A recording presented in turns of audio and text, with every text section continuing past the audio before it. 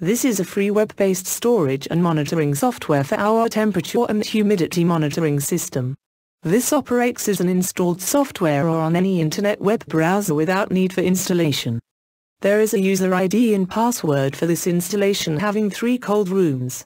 You can see three cold rooms named as cold room 1, 2 and 3. You can select any time duration for which you may desire to view the data. The data is already stored in our free web-based storage space.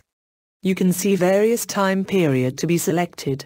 In this case we will select to view the data for the full month of March 2014. Now we will select Cold Room 3 to view the entire data at March 2014.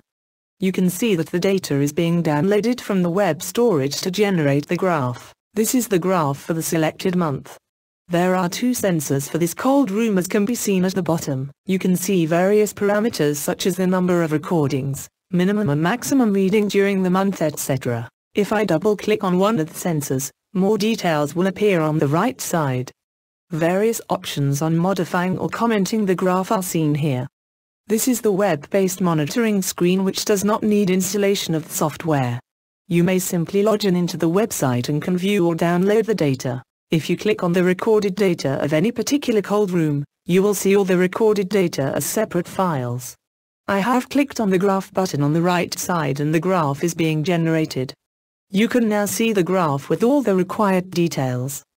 By clicking on the download button, the graph file is downloaded onto the computer and can be viewed as can be seen here.